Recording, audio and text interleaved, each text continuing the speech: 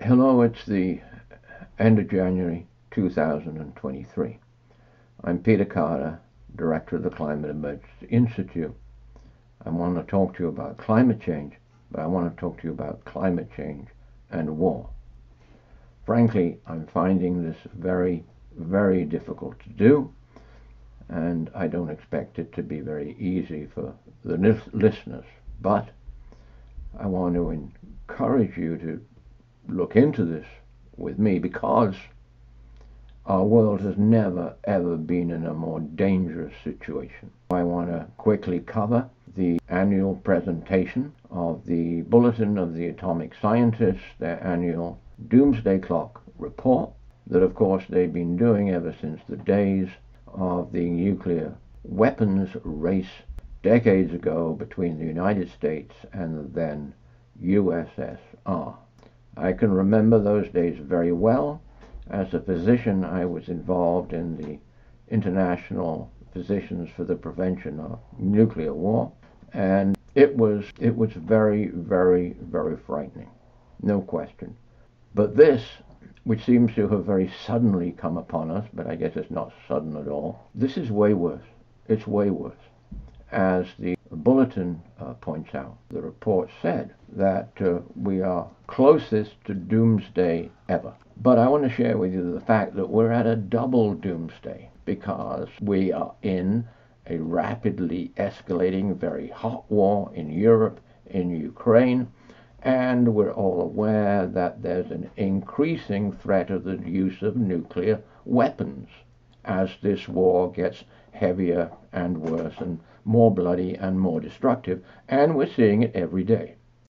At the same time, we are in, and this I'm afraid seems to sort of get forgotten about, but at the same time, we're in a global climate emergency, which is rapidly deteriorating. And uh, the World Economic Forum also this month, they presented their annual global risks report. And yet again, they put what they called quite properly, climate action failure, the number one risk to the world in the short term, year or two, and also in the next 10 years. They do this every year. So back to the uh, doomsday clock and the uh, quotes from the media release this year. The Science and Security Board of the Bulletin of the Atomic Scientists moved the hands of the doomsday clock forward. They put the doomsday clock at 90 seconds to midnight the closest to global catastrophe it has ever been. And they said, we are living in a time of unprecedented danger. And that's reflected by the doomsday clock change. 90 seconds to midnight is the closest the clock has ever been set, and it's a decision that the experts did not take lightly.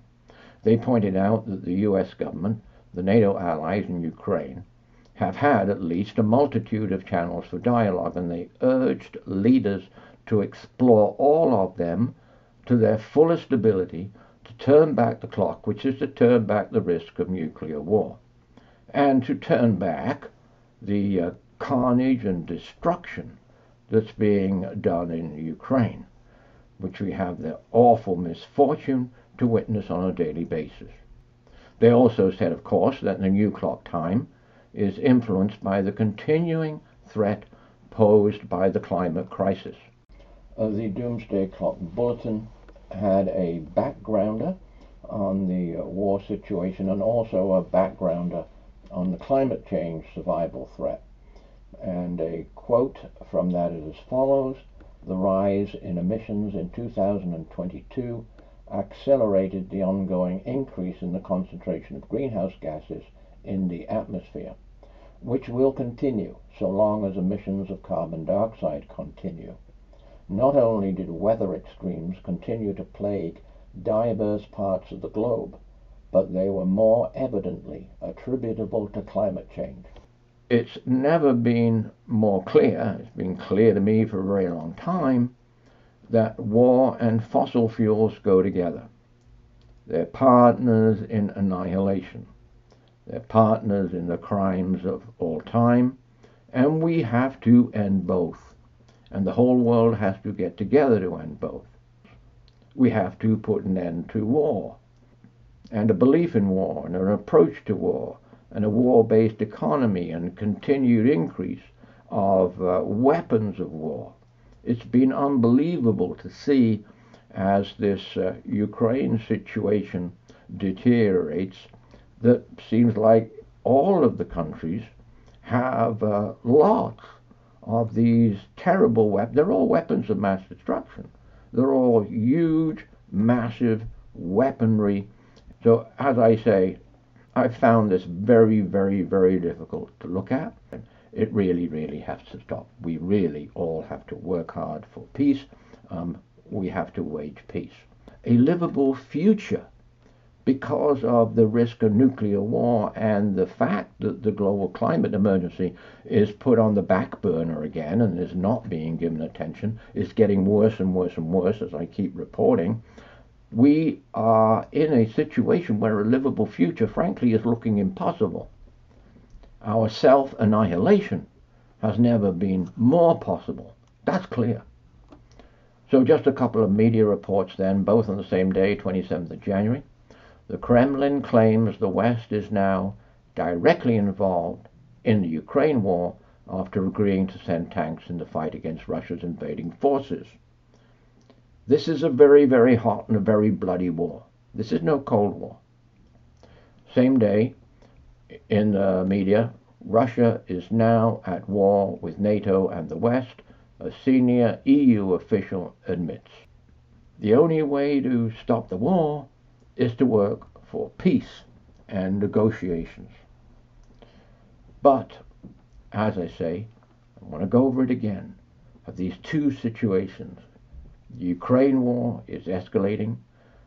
We are aware, we hear of the nuclear risk, but it's being ignored. It's a world war, it's a proxy war that's now well established in the Ukraine with an increasing threat of nuclear weaponry. And at the same time, the climate emergency is escalating. It's actually made far worse with this war.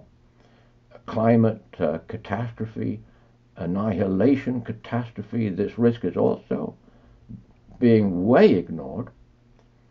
And I want to point out that this month in January also, the World Economic Forum, they had their annual big uh, meeting in Davos, and before the meeting, they published their annual global risks report. And yet again, they put what they call, quite rightly, the failure of climate action as the top risk to the world.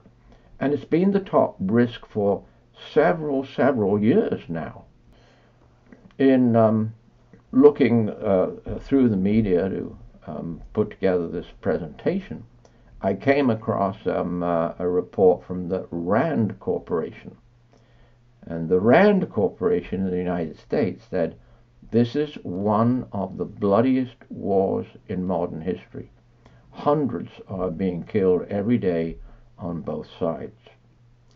And if you know anything about RAND, you'll know that uh, if they say this war is this terrible, um, it really is because hmm, Rand knows what they're talking about with respect to war.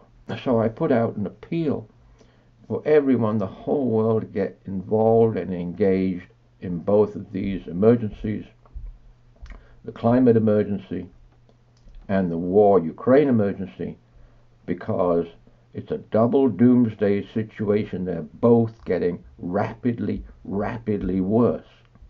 And there is no future in this at all. I want to uh, again put out an appeal that I've been putting out for years now. Uh, fossil fuels is our enemy. War itself is our enemy. We have to fight fossil fuels. We have to fight to get the corporations and governments to leave the effing fossil fuels in the ground. And we have to do this for a future now for a future at all.